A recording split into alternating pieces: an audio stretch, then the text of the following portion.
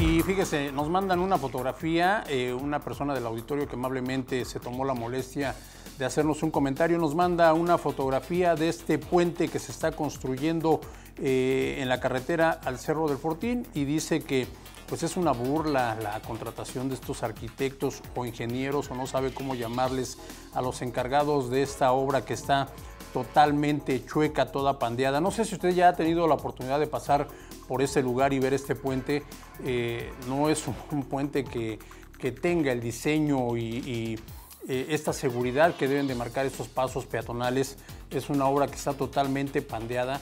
Y bueno, lo que nos pregunta esta, esta persona del auditorio, a quien le agradezco eh, el favor de su atención y el tomarse esta molestia de hacernos este comentario, es de que, para empezar, ¿cuánto cuánto va a justificar el gobierno del estado por la construcción de este puente que lo está haciendo prácticamente eh, al cuarto para las 12 cuando ya las festividades de la Guelaguetza están a la vuelta de la esquina y por el otro nos pregunta si va a haber alguna modificación, si va a haber eh, algún intento por recomponerlo para quitarle pues toda esta pues esta ondeada que tiene porque no está no está en línea vertical. Ahí lo tiene usted en, imágenes, auditorio, no está vertical este puente, eh, está totalmente pandeado. Esa es la fotografía que hoy nos envía pues precisamente una persona del auditorio y dice, ¿a quién contrataron para, para construirlo? Pues esas son las obras que están realizando en Oaxaca, lamentable, ¿no, Miguel? Sí, así es, ¿no?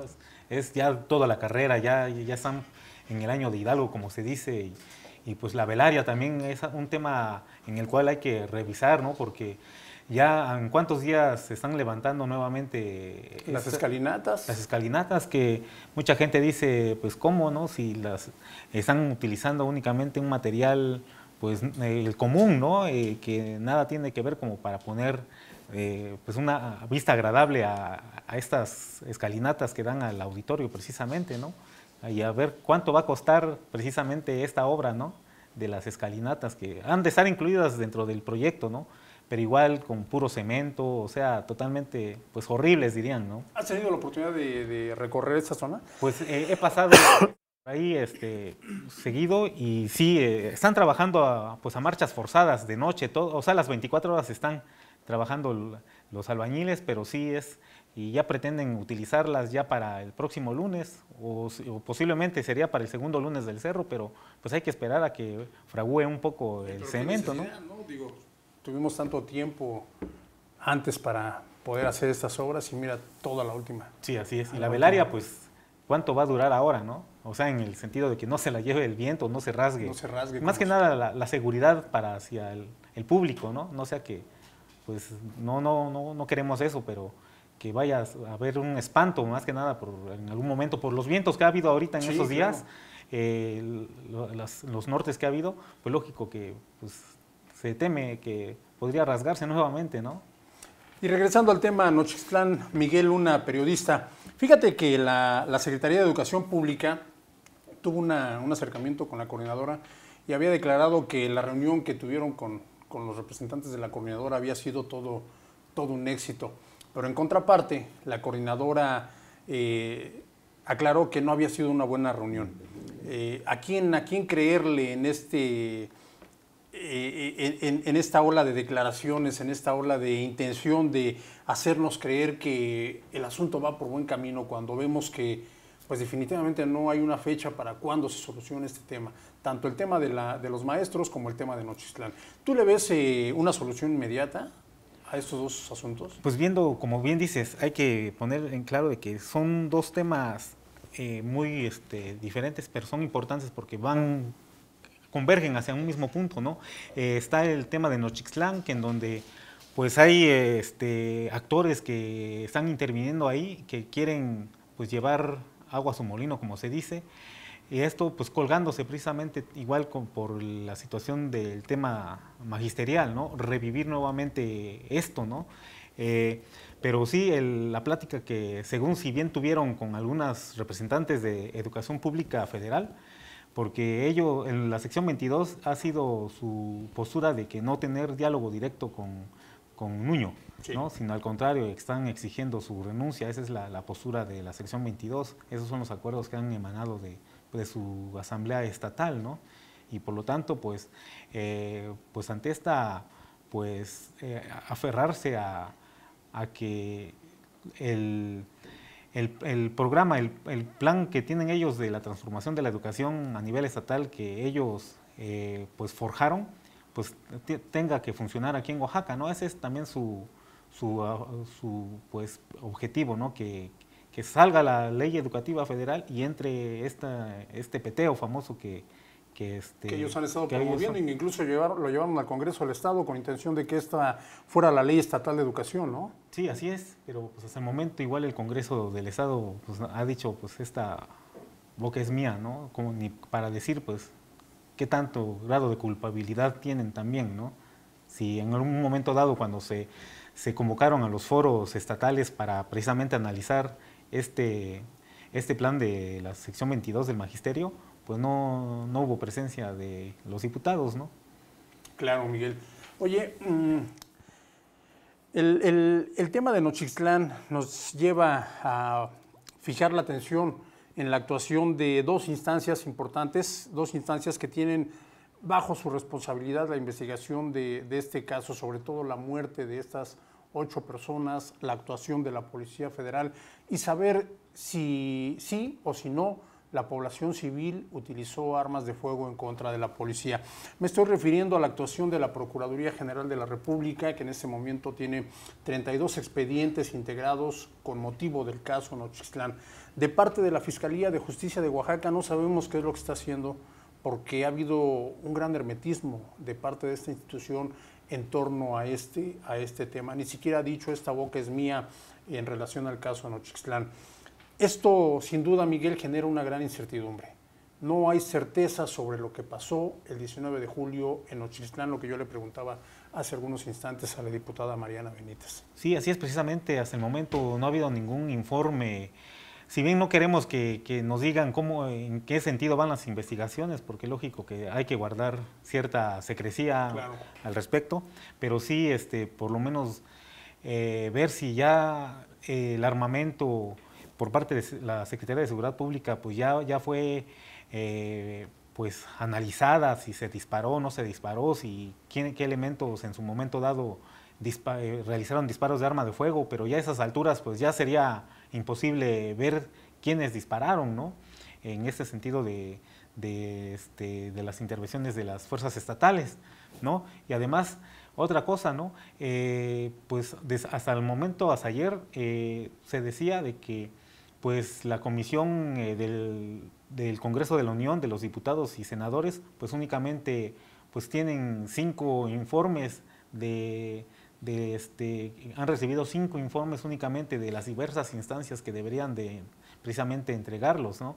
En este caso, como comentas, ¿no? La, Procuraduría General de la República, la Fiscalía, eh, autoridades de salud inclusive también, que en su momento dado eh, vieron, eh, pues, eh, participaron, ¿no? al auxiliar a los, a los, heridos, que en su momento dado igual la Policía Federal impidió que se atendieran a personas civiles eh, heridas en, el hospital de Nochixtlán y, ver toda esa situación. Asimismo, pues las autoridades municipales de Nochixtlán, en este caso, ¿no? que, ocurrió dentro de la jurisdicción de Asunción Nochixtlán, pues hasta el momento pues no se sabe si el presidente municipal ya rindió algún informe, ya, ya dio la cara, ya apareció, ya... Si ya le permitieron regresar, porque hay que recordar que le quemaron el Palacio le quemaron Municipal. el Palacio Municipal, ¿no? Y, y él pues anda, según sus, sus eh, regidores, que anda pues, pues protegiendo su integridad física para que no, no le pase nada a él, ¿no? Pero mientras tanto, pues eh, no se sabe cómo está la situación eh, de gobernabilidad en Nochixtlán, precisamente. Ese es un tema importante que se desconoce exactamente el contexto del, del, tema Nochixtlán porque a los medios de comunicación no se les ha permitido el acceso, no se ha permitido incluso la, presencia de, algunas autoridades, como en este caso los integrantes de esta comisión del Congreso de la Unión, que aún no tienen garantías para poder llegar a, este pueblo y realizar su trabajo. Eh, Miguel Luna, la Comisión Nacional de Derechos Humanos puso el dedo en la llaga y, denunció directamente a la Fiscalía de Justicia del Estado de estar obstaculizando el trabajo, de no rendir informes en torno a este tema Nochistlán.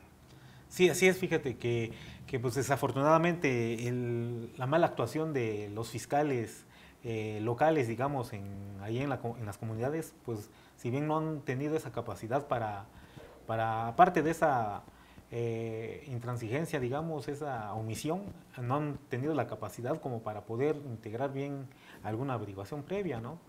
Eh, te lo comento porque inclusive cuando pues personas afectadas por la retención o el robo de su mercancía y, demás, la retención de sus vehículos, pues el mismo fiscal pues les impedía pues que se levantara la denuncia correspondiente, a realizar los peritajes y demás, dónde están ubicados estaban ubicados sus vehículos y por, muy muy este muy a la fuerza tuvo que intervenir eh, pues lo que antes era el Ministerio Público, ¿no? Para pues tratar de ver sobre la liberación de los vehículos, o sea, poder decir que fue demasiado tardía la, la intervención de la Fiscalía, ¿no?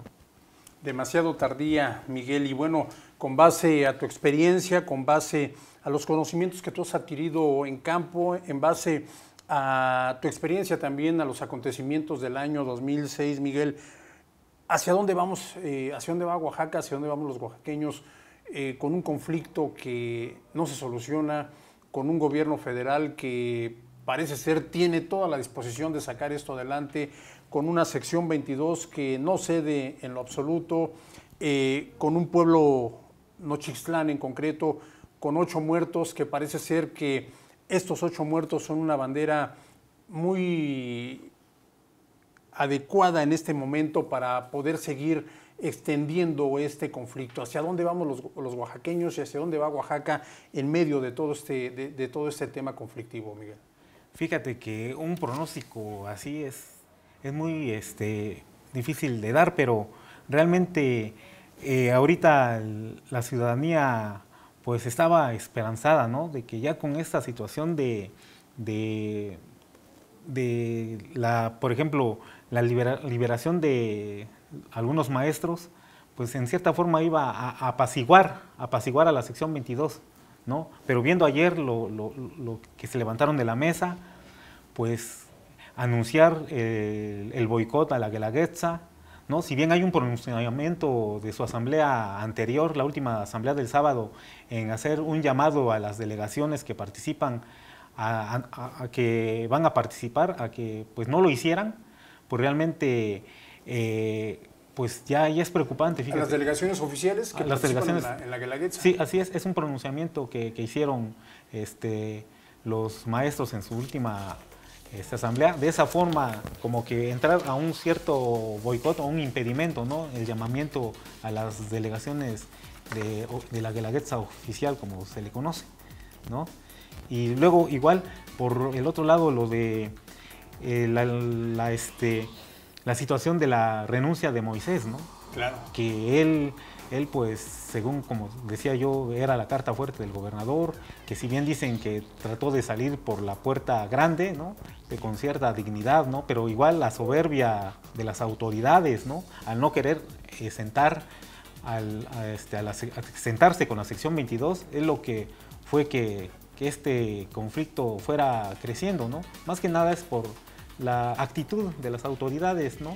Y ahora pues ¿Qué está, ¿Qué está esperando el gobierno del Estado, no? A mi manera de ver, pues es que ya nada más termine el periodo y, ver que le entre el, otro, ¿no?